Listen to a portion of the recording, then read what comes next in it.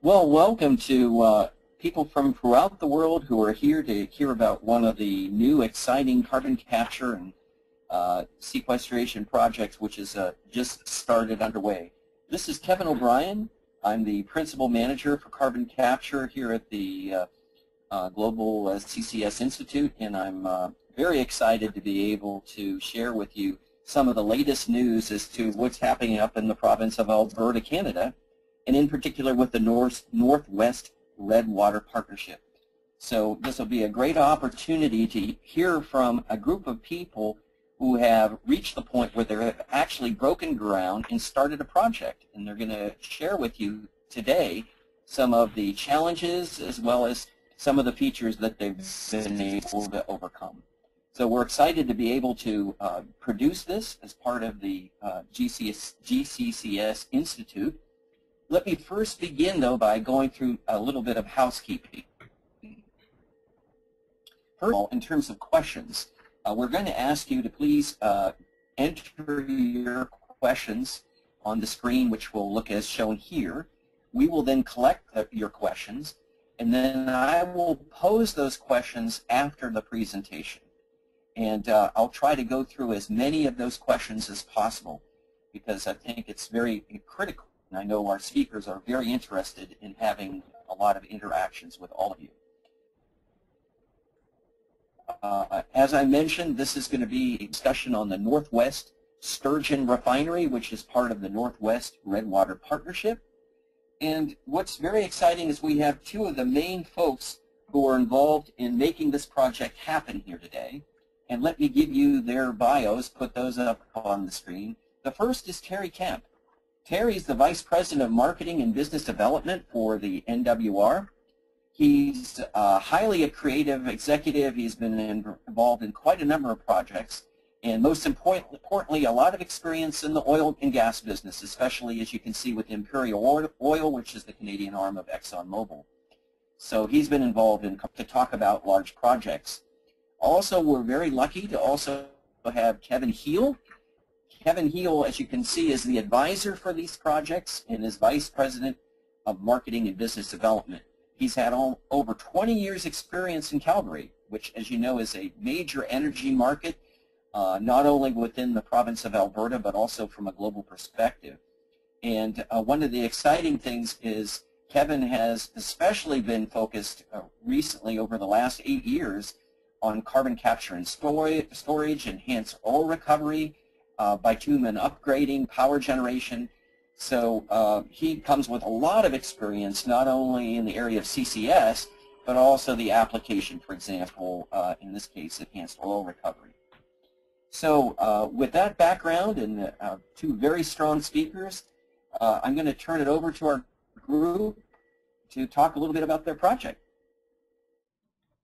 afternoon, wherever we may find you. Um, it's, a very, it's a pleasure to be here to talk about our project. Um, just a quick note, we're sitting in Calgary. It's just a little after 12 o'clock. It's a nice blue sky day out there, but it's actually uh, one of our first days of real winter. It was about minus 8 Celsius. We got a little bit of snow on the ground, and earlier when we were getting ready for the presentation, we were just starting about talking about the start of the ski season, which will be opening up uh, this week up in the mountains. So uh, I'm sure different than a lot of other environments, but uh, as we head into our winter, we, we do enjoy that part of our season.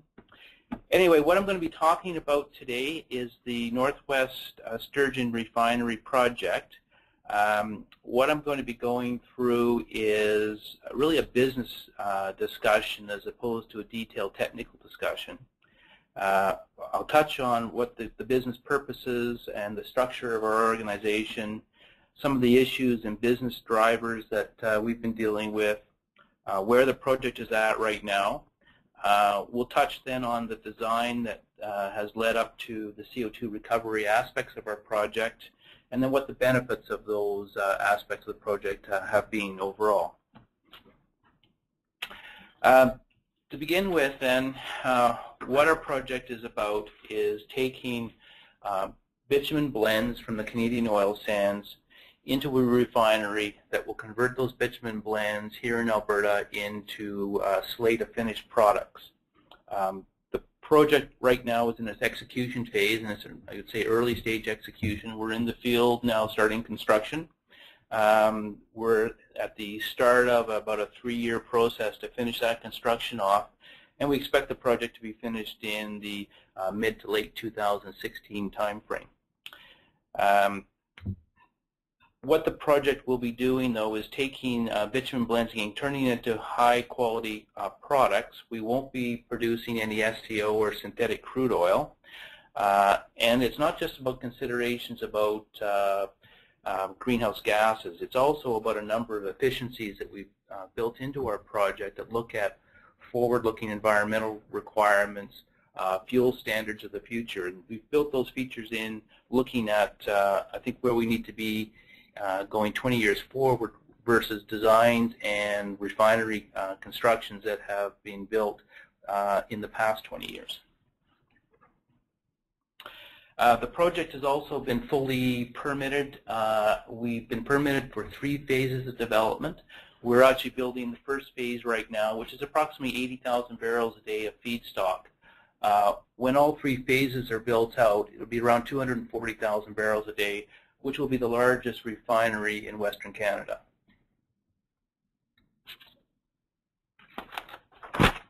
Uh, one other feature before I go off the slide is we were talking about um, some of the clean products.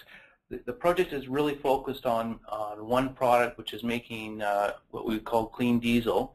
And again, looking forward at um, diesel specifications and demands, uh, standards in the U.S., we're seeing a number of, of uh, opportunities around uh, diesel marketing out of Western Canada. So that's been one of the big economic drivers for the project. So where the project is, um, we call this location, and uh, a number of features with it. It's in the center of the, what we call the Alberta Industrial Heartland.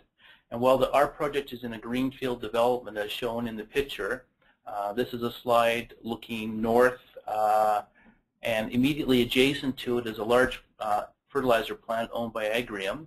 Uh, we have pipeline terminals bringing bitumen blend to the corner of the property and a number of other infrastructures such as rail, power, uh, highways, um, water in the immediate vicinity. So this makes it an ideal location for building this type of a, a facility. Uh, just off the picture immediately to the south down here is where Shell has a very large complex uh, where they have a refinery, uh, bitumen upgrader. So it's a it's existing site, very active, and we're sitting on the north side of the, of the North Saskatchewan River, um, adjacent to all that development. The other uh, benefit of this site is it's really the the hub uh, of where a number of the uh, oil sands pipelines are bringing their production into Edmonton. So in this uh, little map on the left, there's different pockets of oil sands.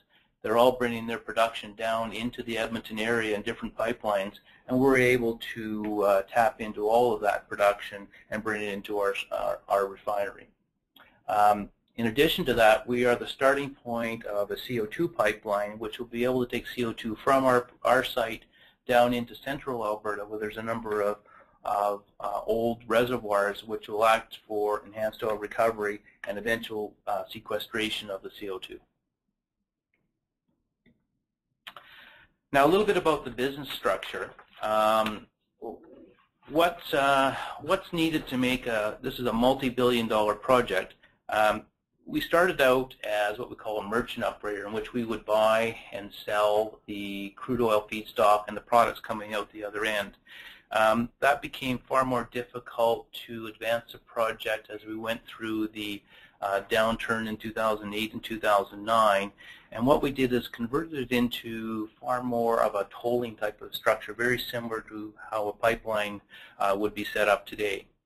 Um, so the key feature of that uh, tolling arrangement is we have the Alberta government, which is uh, through their royalty uh, um, take on the oil sands is one of the top five producers of the oil sands.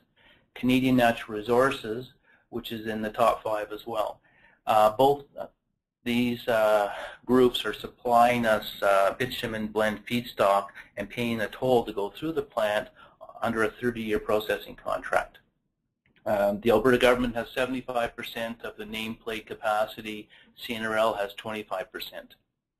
Uh, what this does for you is by providing this guarantee for toll, it, it guarantees the payment of the, the debt, the equity, the operating cost, uh, and it becomes a very secure structure. Um, the um, financing world likes that because now we are able to move into what we call an investment grade type of financing structure which satisfies the banks and the other finance uh, parties to the project. Uh, the other feature of this is it's set up as a partnership uh, where Northwest Upgrading is the, uh, the original founder developer of the project and Canadian Natural Refining Limited CNUL has come in and they are now also at 50%. So this Canadian Natural is a subsidiary of Canadian Natural Resources, which is the uh, providing part of the feedstock for the plant, but they're also an owner of the plant now as well. Uh, by having a partner in the, in the structure also provides, uh, again, some uh, depth and security around the financing and the uh, knowledge that the plant uh, has a lot of backing to get it finished and built. So I'm going to step back a little bit and talk about some of the issues and dis discuss the project from the context of these type of, of elements. Um, first, Alberta is a very large producer of hydrocarbons, including bitumen, um, and the growth in that uh, development is uh, around bitumen. So for the, for the foreseeable future, um, oil sands growth will be part of the Alberta fabric. So the problem is, where does all that production go? Uh, we can currently fill the markets we have, we fill the pipelines that we have, but the incremental production coming on really has to have new markets to be developed. So that's one issue. The next issue is adding value at home. Well, we have this uh, incredible resource to produce, uh, we would also like to be able to capture some of the value add or the benefits of taking that from a raw product into a finished product and those types of benefits.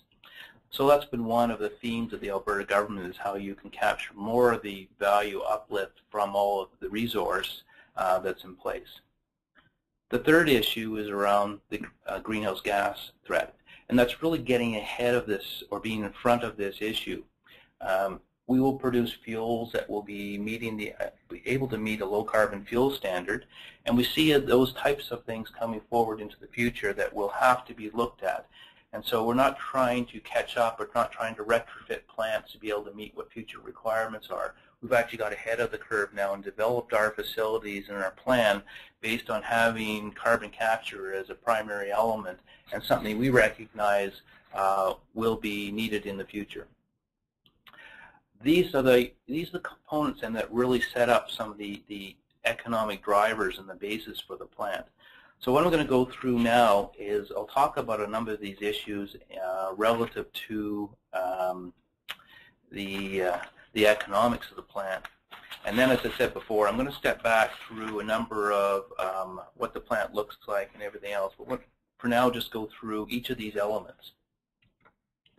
So from the production end, uh, the first chart shows the what would be considered uh, raw bitumen production, or the production that is not going, it's not integrated, it's not part of a mine, it's not part of any integrated synthetic crude oil that uh, most people would hear about. This is production that's coming largely from in situ, where it's being produced either conventional means or steam-assisted gravity drainage.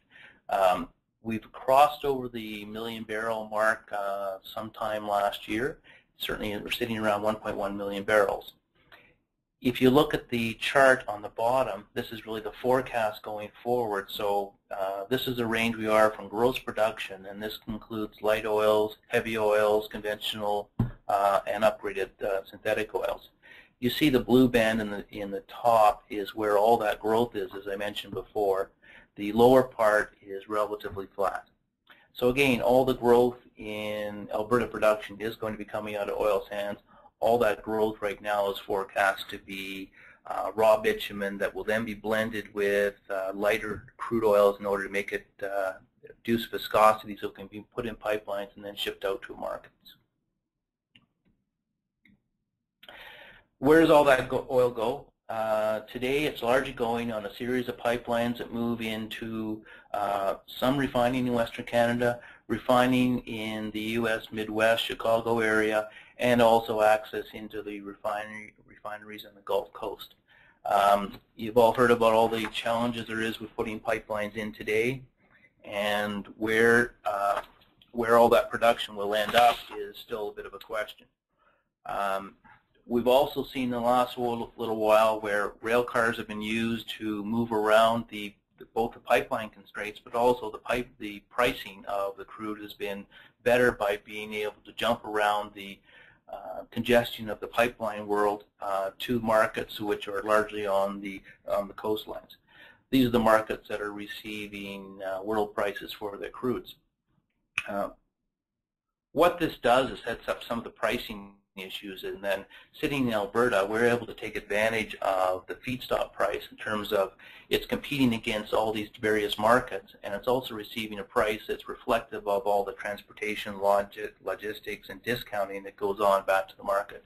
So one of our economic drivers is we're in a much better pricing environment here in Alberta for taking in this feedstock than we would be by having to move it through uh, these networks. Uh, the next point is that even when you get it through the pipeline to get it to these markets, these markets aren't sitting empty today. Uh, the refineries in the Gulf Coast are all operating um, at capacities. So we're really competing in a, marketplace that is already satisfied. And in order to do that, in order to be able to push your production into those markets, we uh, price is what will determine the difference. So we will become suppliers into well-serviced markets right now, and then we'll start to see more price impact back in Alberta. And again, that's just setting up some of the some of the economic uh, benefits for our project being located in Alberta.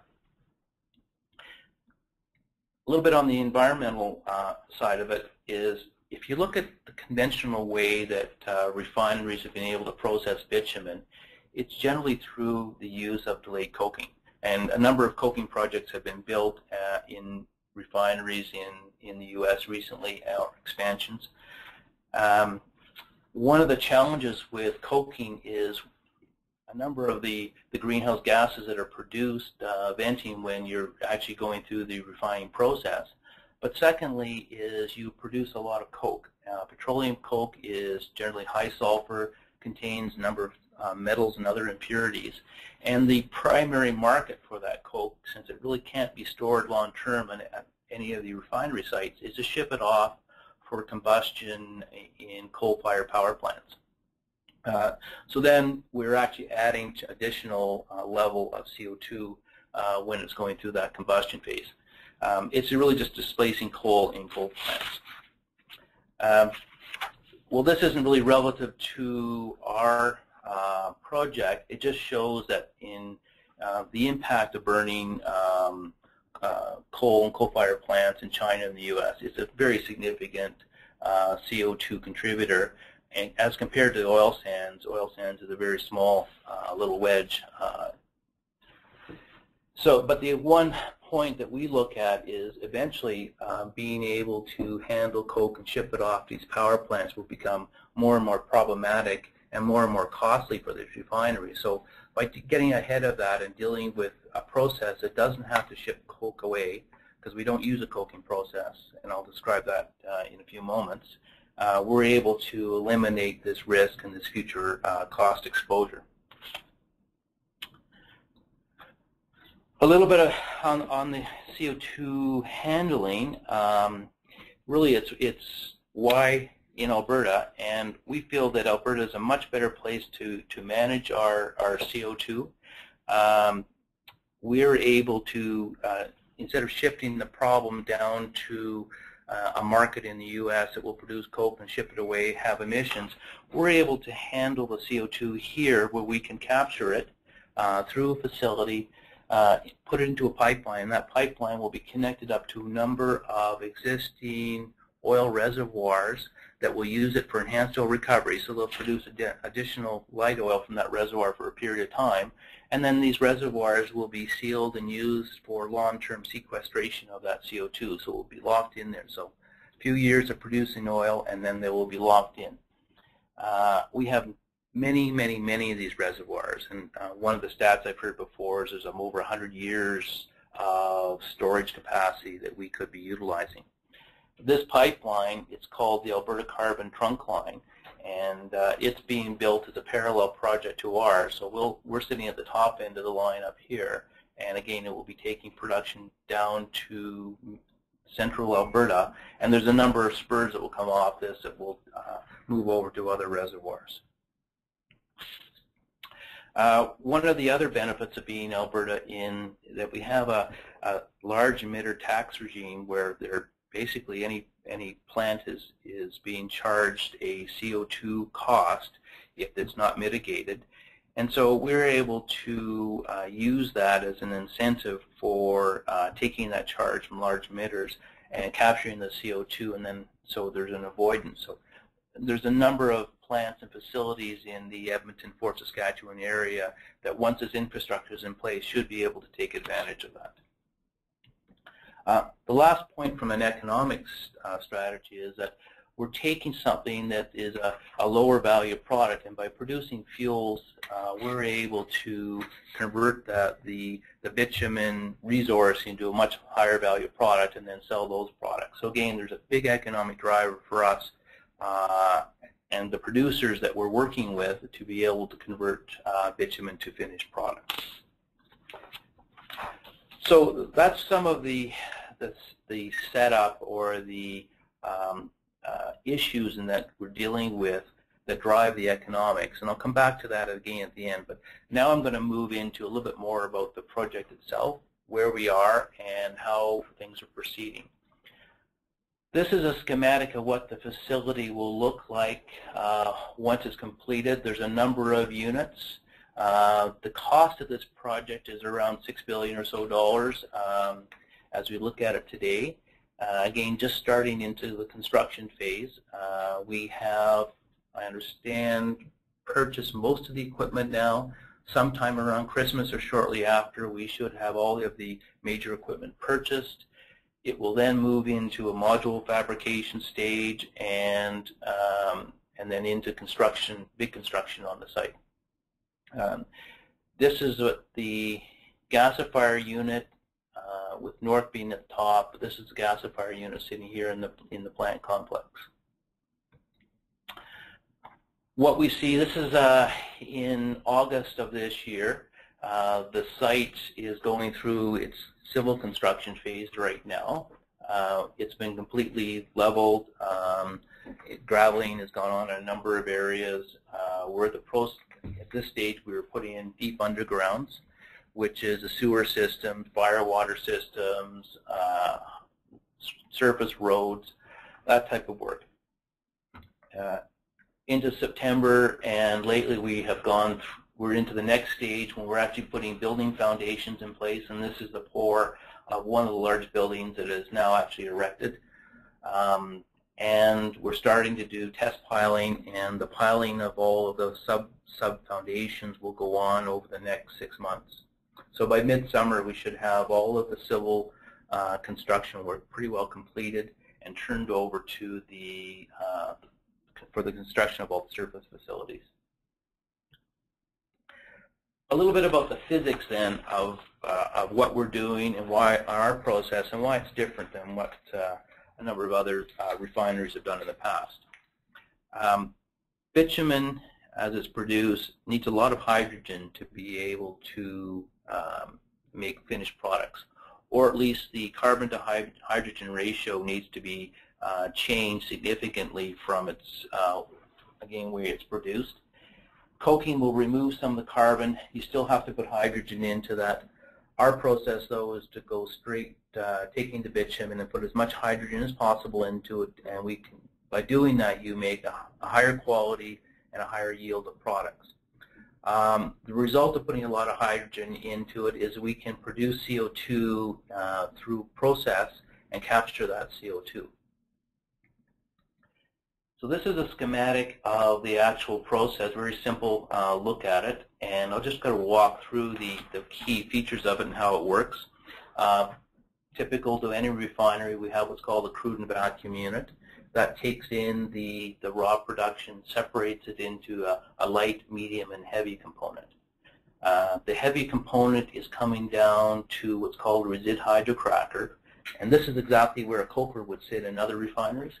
But in our case, we take a resid hydrocracker, basically breaks all the molecules apart, saturates it with hydrogen, and make now a lighter feedstock that will go up for further processing. Uh, not 100% of that is never converted. Um, so most of that is converted, but we still have around 20% that will come out the bottom of the of the resid hydrocracker and uh, as almost a pure carbon stream. That carbon stream is used as a feedstock into a gasifier. The gasifier uh, combines carbon, um, oxygen, and steam, and then converts that in, in their process into uh, carbon dioxide, hydrogen sulfide, and hydrogen.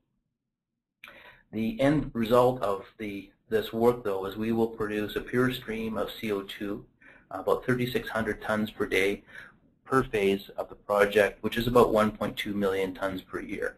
Uh, we'll recover sulfur off the plant and be able to sell sulfur.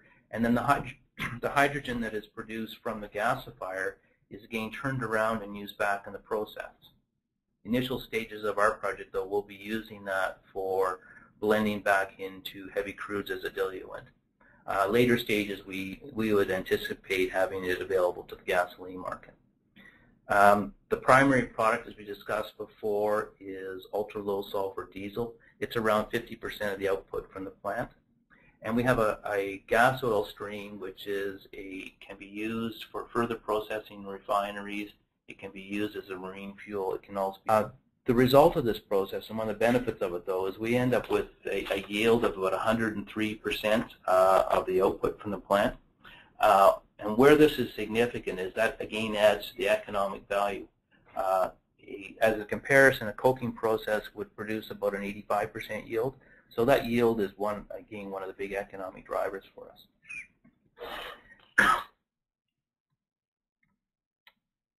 So now I'm going to move in what it is we're doing on that part of the project. Uh, operational reasons, very high reliability. Uh, the gasifier unit is on this side of the of the schematic. The syngas that then comes out of that, uh, it's very highly integrated. There's a lot of heat recovery going on between all the units. Um, moves over to a shift converter and you take the CO off of the process, you convert that to CO2, and then it goes into Rectisol. Um, Rectisol is a key separation process, and I'll talk a little bit about the benefits of that again in a minute.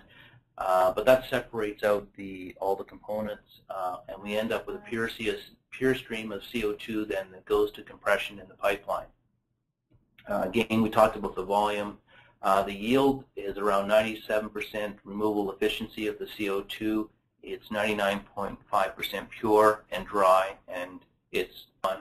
As we talked before, we have the the feedstock coming from the hydroprocessing units into the gasifier, some steam and oxygen, converts that over to CO.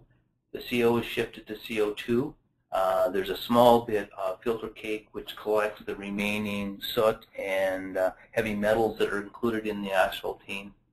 And then we move over to Rectisol. Um, we selected Rectisol for a number of, you know, and it converts very high uh, CO2 purity, which makes it ideal for putting into a pipeline and shipping off to for EOR. EOR has a, a quality specification that uh, has to have all the nitrogen other other impurities uh, taken out of it. The CO2 then additional dehydration, and that's a big step uh, that we can avoid by selecting this type of a process. Um, so the benefits are off for um, sulfur recovery and sales again the CO2 stream, and then the hydrogen stream that goes back in.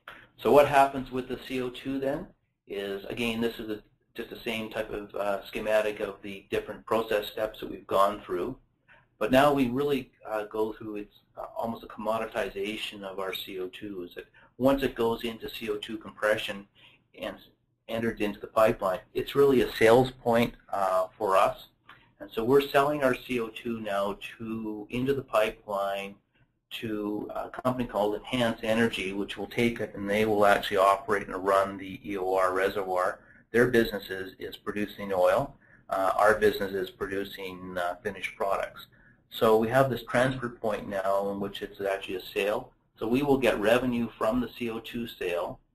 In addition, uh, by, sequester, by sequestering the CO2, we're able to apply the credits back into our facility uh, as offsets, and we'll have excess credits in which we'll also sell. Those credits will be able to generate some additional revenue for the operation.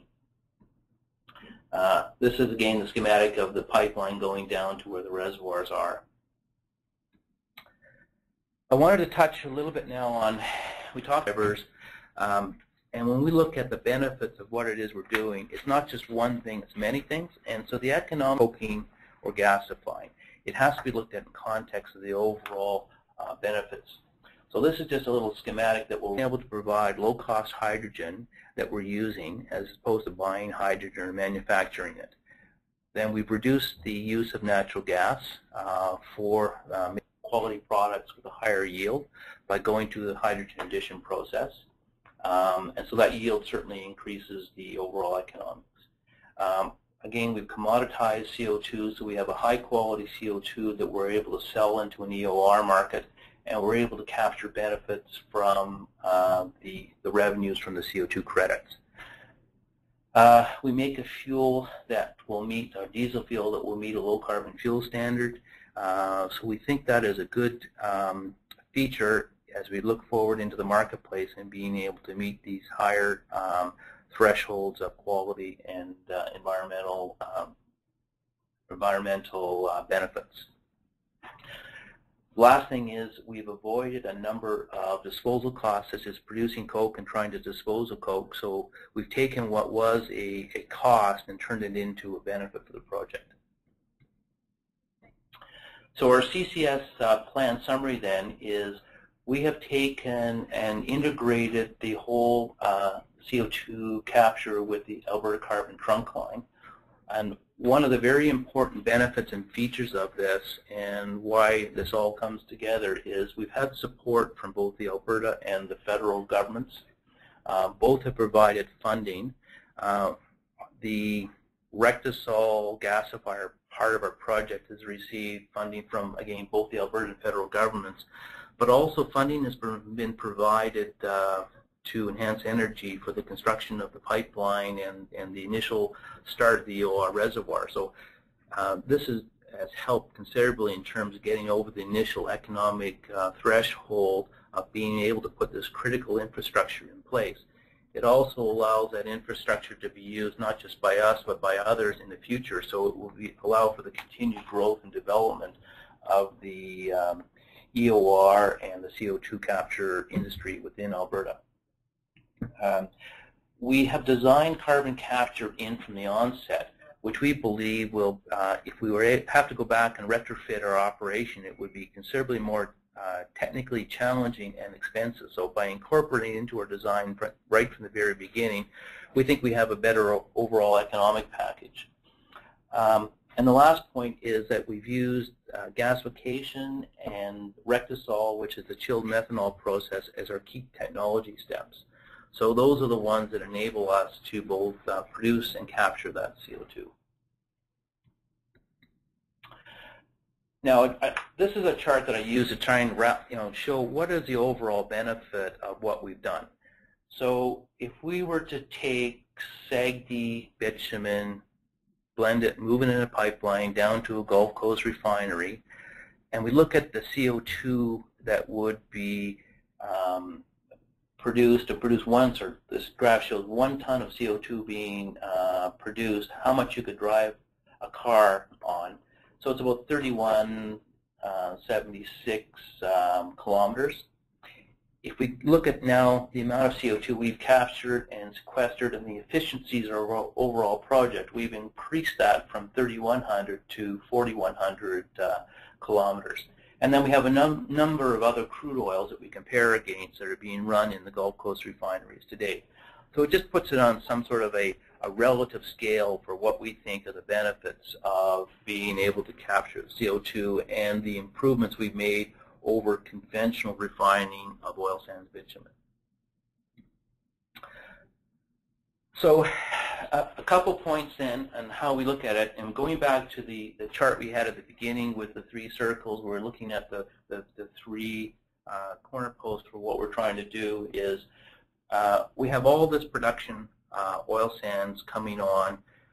As far as the production curves show, it looks like we'll always be able to fill the pipelines that are being put in place, and we'll always be a, a, a long in Alberta and be able to take advantage of that. So our project while not solving all of those, will at least provide additional market for oil sands bitumen, and we're going to be able to take advantage of the the, um, the supply in Alberta to have some of the best pricing for any refinery in North America. The other point I wanted to make here is that we have a very um, uh, limited market in terms of growth in oil sands. So we move the oil sands production into the into conventional markets and where it's going to go.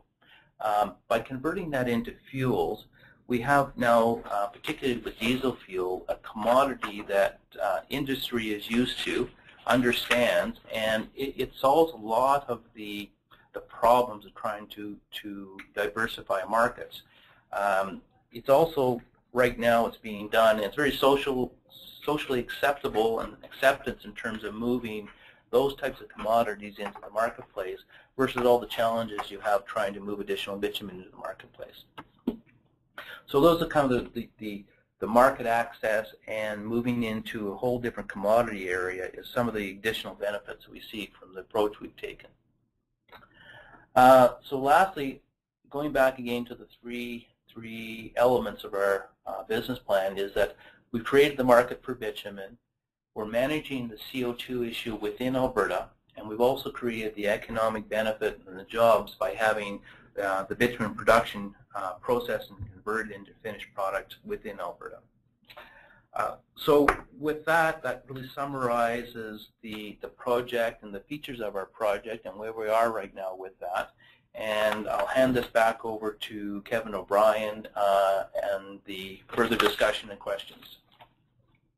Well, thank you very much, Terry. Uh, that was a very intriguing, Terry and Kevin, a very intriguing analysis of what could be a very exciting project up there.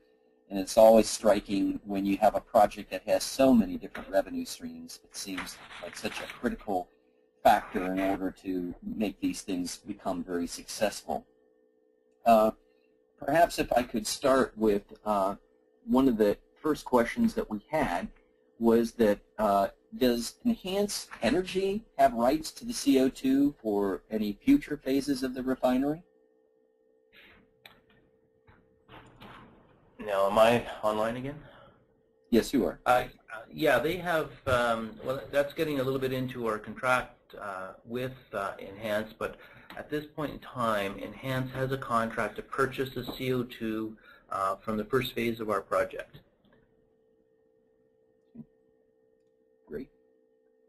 Uh, here's another comment that we had just received. It says, thanks for an excellent presentation. You show that you showed that a projected growth in heavy oil sands processing out to 2030. So they ask, uh, what's the impact of the current shale gas boom in Northern America on the outlook of heavy oil sands? Uh, well, I would say that uh, there are really some different markets. When you're talking about shale gas and, and the use of gas, um, bitumen blends are typically going into refinery and refined products. Um, I think what the graph shows, though, is that we're all, with the amount of resource we have, we're all, always able to produce up to the limits of our, our market access, our pipeline uh, capabilities, and our takeaway capacities. So, uh, you know, I don't foresee any lack of opportunity to produce more um, uh, bitumen blends, bitumen uh, in the future. Um, in terms of what the market needs and wants, that's something, you know, uh, the future will have to, to show us what it, what it needs. Well, here's another one. Uh, what's the mechanism in GHG protocol for the CO2 credit generation? It sounds like your uh, project is receiving income from selling the CO2 as well as credits from avoid, avoiding emissions. Uh, th that's correct. So we were able to um, gain some revenue from the sale of CO2. We're able to gain some revenue from the sale of excess credits. Um, the mechanism for credits is Alberta has a, a, system in place right now where it charges large emitters um, for the amount of CO2 that's produced, has a requirement to uh, reduce that amount of CO2 so the credits can be purchased and used for offsets. So if, as a further to this question, if you combine the income and credits, what's the cost per ton of CO2? I can't tell you that right now. We'll wait till our plant is built, and we will, uh, you know, look at how and, and uh, that evolves. But it really touches on some of the, the commercial uh, valuations. Uh, currently in Alberta right now, the chart, the, the cost per ton of CO2 is $15. Um, that sets really the, the, the, top end of the value of the credits for the time being. Um, and this, the actual physical sale of CO2 is a, a commercial transaction between two parties. Here's another a comment. Uh, it sounds like one of the key things that you uh, went through is, of course, the ownership structure, or how the project's funded.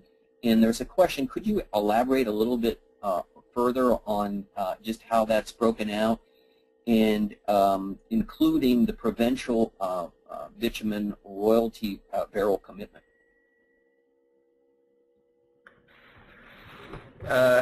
The, well, the Alberta government has access through the royalty program to uh, different percentages based on different projects. Um, they will be providing to this project um, approximately, uh, I call 110,000 barrels per day of bitumen blend. Um, first phase will take about half of that, and then as we move into our second phase, the, the remaining volume is available for that second phase. Uh, what Alberta does with additional royalty programs and uh, requirements and producers is really something that they will manage. Uh, this particular arrangement that they're, they've gone through is strictly to supply uh, this facility for both first phase and, and growth phases. Great. Well, one of the things that I think anyone who's been involved in large projects like this realizes that uh, there are typically many different environmental related impacts that one has to overcome. And I was wondering if you could make some comments as to perhaps some of the unique environmental impacts that you all had to overcome during the development of this project. Well, you're right, and there's our there are a number of uh, we look at the NOx, SOx emission, we look at water handling, we've looked at the proximity to other facilities, and it's not just emissions. You also look at the social economic impacts in the area, the strain on infrastructure, power, water, those types of things all those were taken into account as we put together our environmental um, uh, plan and submitted that for approval. Um, we have strived, though, to use best available technology uh, in all as aspects of the facilities and have tried to make the right kind of economic decisions around the selection of equipment uh, in order to achieve those objectives.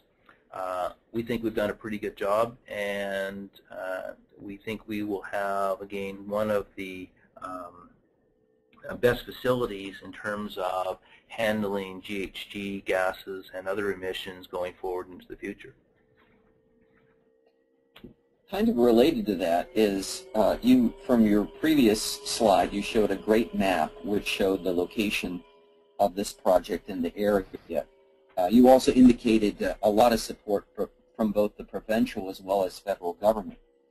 But a question that comes up is uh, you mentioned in that area, for example, fertilizer plant as well as a lot of additional infrastructure. And I was wondering if you could comment on uh, just how you received or what type of support that you received from, I would say, the local shareholders there as well that would help to encourage the project because, again, as many know who are involved in these large-scale projects, it's the local stakeholder support that often uh, is critical for success. Could, could you perhaps comment on that? Yeah, I'm, I'm glad you brought that question up because it, it was uh, one of and is one of the um, primary reasons the plant is located where it is. Um, the first point is um, Alberta has set up this region called the Alberta Industrial Heartland, and in that it set it up for large-scale industrial projects to be developed, and that was sort of long-term uh, planning that was put in place. And so all of the, the local communities and the, the counties and around the area have participated in the development of that large uh, scale industrial plant. So this has been set up now in Alberta for this area to grow and get the synergies from interrelated industries being uh, adjacent to each other. So that's the first aspect. The second aspect is from both local uh, and provincial governments a strong interest in having this type of facility put in place with the features it has. And so we have had tremendous help from all levels of government, uh, participation in the evolution of the project, and a strong interest from local residents in terms of looking for future jobs, um, opportunities uh, during construction, and finally um, the impact it's going to have in their communities. So it, this is fitting into what I would call a long-term uh, regional plan, and it's ideally purposed for uh, um, that region. Mm -hmm. Well, very fascinating because it clearly is a, a, major challenge. Just a few more questions uh, in some of these now kind of focusing from, let's say, the large scale down to the plant scale. Uh, one of the questions that came up is uh, how does, you know, what's the, the, the methodology for the transfer of ownership for the CO2? Many people have talked about, you know, how that will be managed. Could you talk to how you all, uh, who, when does it effectively change ownership? Uh, at the inlet to the pipeline, so really as the CO2 uh, comes off of our process, we have uh, a meter, so we'll actually measure that CO2 and it goes into compression. So as it crosses over that meter and goes into compression is the risk and title transfers to Enhance Energy, who is the user of the CO2 at the other end of the pipeline. So then they have to be concerned with um, the CO2 as it moves through the line, maintenance of it, uh, further compression and handling of the CO2 at the other end. Uh, through our commercial arrangements, we deal with the uh, transfer of credits and a number of other um, features around quality, uh, delivery, and assurances uh, as part of a commercial arrangement. So, so what is the maximum amount of hydrogen sulfide allowable in that uh, the CO2 as it uh, passes over essentially from your plant into the compression plant? Uh, there's no CO2 or no sort of hydrogen sulfide in that CO2. Uh, Rectisol is a very efficient process. It strips it out, and uh, and then we recover the sulfur. Um, again, we're sitting immediately beside um, a, a, fertilizer plant that, that, can use some of that sulfur for conversion into fertilizer. So there's some synergies again with local industry in the area.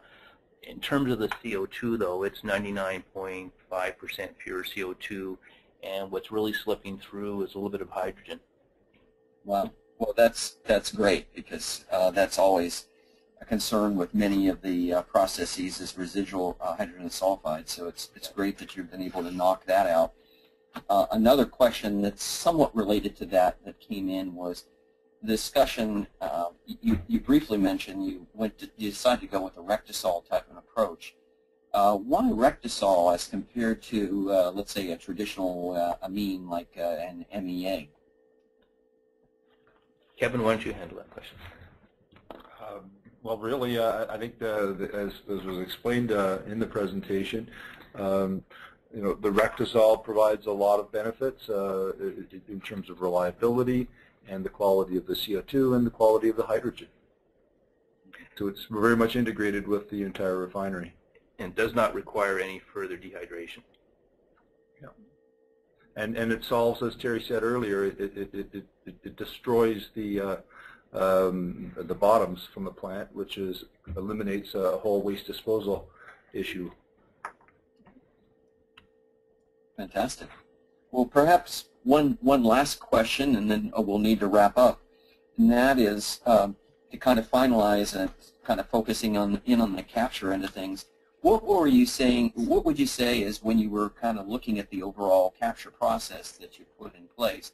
Because many people, as you know, when you look at large-scale projects, you constantly hear that sometimes you'll hear a number of uh, up to 80% of the capture costs drive the overall costs of the projects. And you see a, a lot of concern and a lot of emphasis on the, that, that capture angle. It appears that you all really have done an excellent job of um, you know, managing the typical concerns one would have when you're putting in a capture plant. Could you perhaps just make a few comments as to what were some of the key issues that you had to deal with as you were putting in place or designing in place this capture system and uh, uh, how did you overcome them? Well, I think it's a it's a matter of perspectives. We're not we didn't approach the problem from the perspective of capturing CO2 and the cost of capturing CO2. We came at it from a perspective of having an integrated facility that was dealing with a number of the the issues as we saw them that had to be handled. So uh, refineries need a lot of hydrogen and we also have what do we do with coke and what do we do with the residual carbon that we need to, to handle. So those two items combined with a knowledge that CO2 capture would be something that's going to be required in the future um, led us to this design. So it wasn't one thing, it wasn't looking at CO2 in isolation.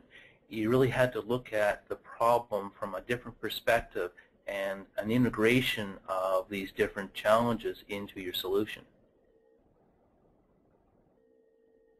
That's great. Sounds like you all have done a, a great job with that. Uh, I think we have time for one more question here. And uh, we've just had one that, that has come in related to uh, uh clean development mechanisms, CDM compliance. And the question is, is this entire project CDM compliant? Especially in, uh, in light of some of the, the latest, uh, you know, CDM rulings.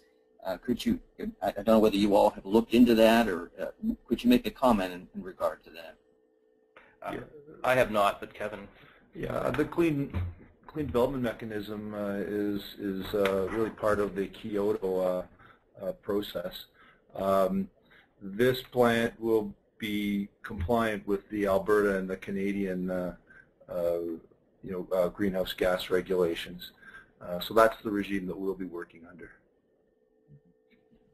Fantastic. Well, uh, we'd like to, you know, give a, uh, a big hand to both Terry as well as Kevin on an excellent presentation about a, a very exciting project that uh, will be moving forward, and it's exciting to see the, the progress that's been made made there. Uh, as kind of a final wrap-up, I'm sorry that we weren't able to get to all the questions that were out there, and I'm sure more will be coming as other people watch this. And as you can see on the screen, if you do have questions, please feel to submit that along with any feedback to the email address which is listed above. We'll be happy to get back to you and uh, you know get those questions to you, uh, you know, or answer those questions and get those questions on to both Terry and Kevin. So uh, to wrap things up, I hope that you all found this webinar very valuable. It's always excited to, to see uh, large-scale projects like these moving forward, especially in uh, the province of Alberta, and a great project like this, which uh, really has uh, taken a lot of work and it seems to have done an excellent job. So again, uh, I'd like to personally thank both Kevin and Terry, and I'd like to thank all of our uh, people out there for listening in, and uh, please stay tuned for additional information from uh, Global CCS Institute. Thank you very much.